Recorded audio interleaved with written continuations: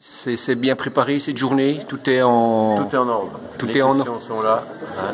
Voilà, ça va marcher. Ça va marcher Bénédicte, beaucoup de professionnels en fait. Exactement, donc on est enchanté de professionnels divers, hein, aussi bien la MSA, des banquiers, le CER, euh, donc euh, le CIGC, etc.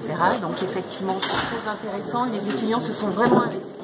Donc, ce qui fait qu'ils se sont appropriés leur projet d'installation, ils ont plein de questions, donc on est vraiment euh, très contents, enchantés de cette journée et euh, de, de leur investissement.